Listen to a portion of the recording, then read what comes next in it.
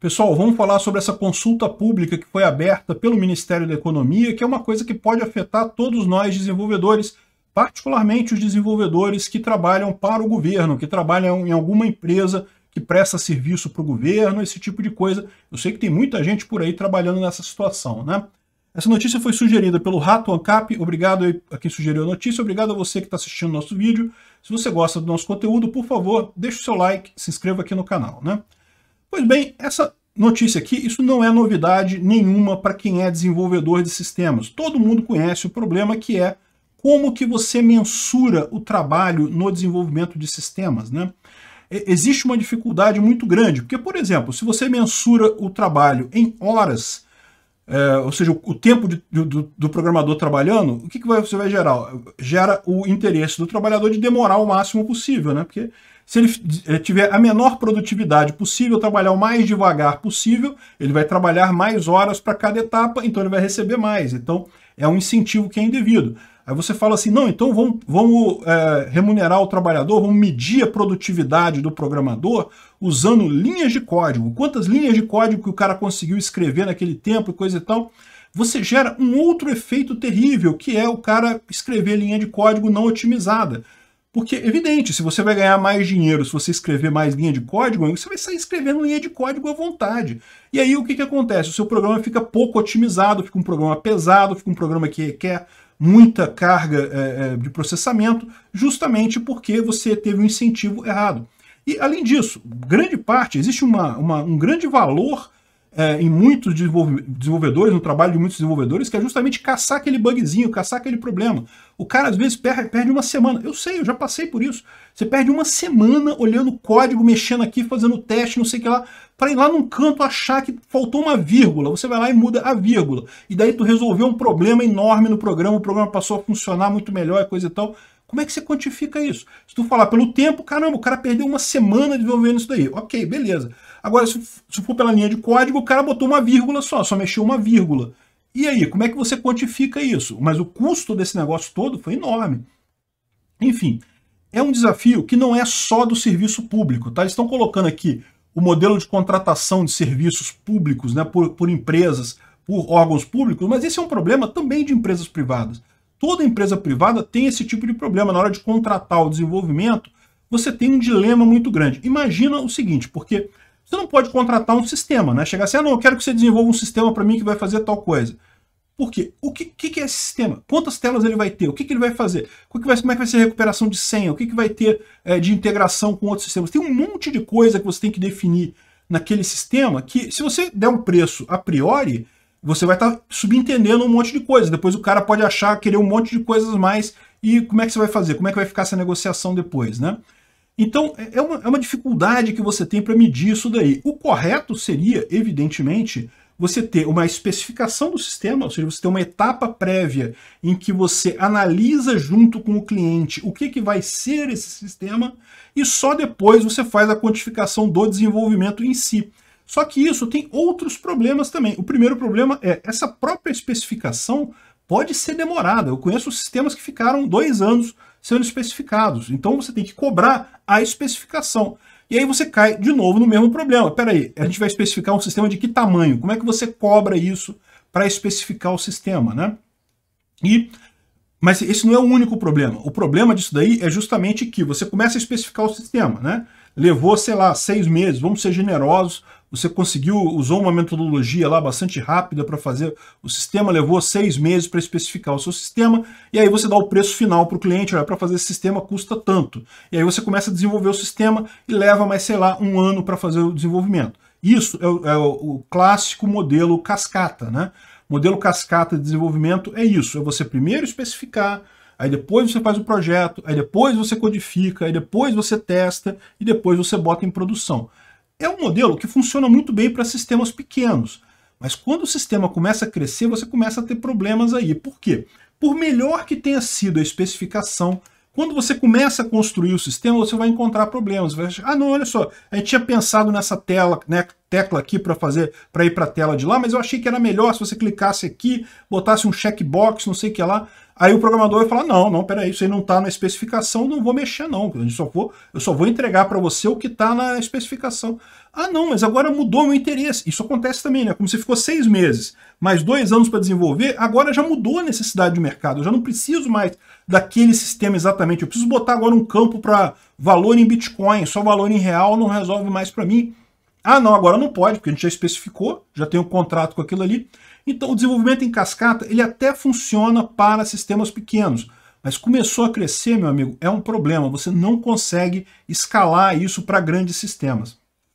Aí vocês têm os sistemas em espiral interativos. Né? Eu falo em detalhes sobre esses sistemas todos lá no curso de segurança no desenvolvimento de software, porque embora isso não tenha a ver com segurança diretamente, isso tem a ver com segurança indiretamente. É uma maneira, você precisa ter esse tipo de controle para você estar tá, é, dentro, é, é, conseguir projetar um sistema, chegar a cabo, chegar ao final de um projeto de sistema de forma consistente. Né?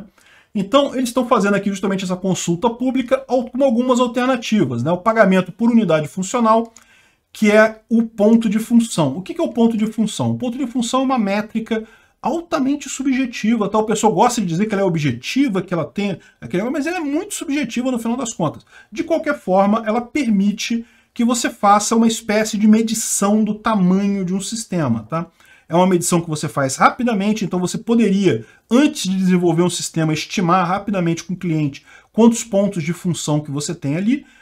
Não é uma coisa assim, é, quando eu falo rapidamente, eu não estou falando em cinco minutos, eu estou falando em dois, três dias, mas aí já é uma coisa mais gerenciável, coisa e tal. É, em tese, se for um sistema pequeno, você consegue gerenciar isso daí, né? Só que, mesmo pontos de função, aí você tem o tamanho do sistema, daí você pode controlar o resto todo. Você contrata esses pontos de função e aí você tem ainda alguma flexibilidade. Ao longo do desenvolvimento, você pode incluir mais alguma coisa, tirar, desde que mantenha aquele número de pontos de função, o que está contratado é aquilo ali. Né? O problema é justamente que isso daí não é, não é perfeito, é subjetivo. Né? E como eles próprios colocam aqui, ó, combinado ou não, com horas de serviço técnico, a cobertura de requisitos não funcionais. Isso é um ponto importante, porque o ponto de função ele mede o número de requisitos funcionais. O ponto de função, para quem não sabe, tem toda uma métrica, você vai pelo banco de dados, pela quantidade de dados que são gerados ali, pelas funções, interligações dos dados, tem todas uma, umas tabelinhas para você fazer a conta e coisa e tal. Mas e os requisitos não funcionais? E o quanto tempo que você perde fazendo uma tela bonita, uh, um negócio agradável, usabilidade, esse tipo de coisa? Esse, esse tipo de coisa é complicado, né? Então, é, isso é uma possibilidade. Existe a possibilidade de postos de trabalho vinculado a alcance de resultados, ou seja, o que, que é isso? Você contrata um negócio, eu estou contratando 500 desenvolvedores, os caras vão ficar sentados aqui e daí eu vou ter só um alcance de resultados, né? Então vai ter que ter, sei lá, aí faz uma. conseguir manter não sei quantos sistemas, conseguir fazer não sei o que lá, quantos testes, quantas linhas de código, aí estabelece um outro padrão qualquer para você medir o quanto que esses programadores estão trabalhando, né? É, pagamento de valor fixo mental, mensal para sustentação de portfólio de sistemas. Tipicamente isso daqui é para manutenção de sistemas, não é para desenvolvimento, né? vinculado a mínimos de prestação de serviço, ou seja, se alguém faz, acha um bug, entra ali, você tem que, um determinado tempo, um SLA de algumas horas ou alguns dias para corrigir aquele bug, coisa e tal.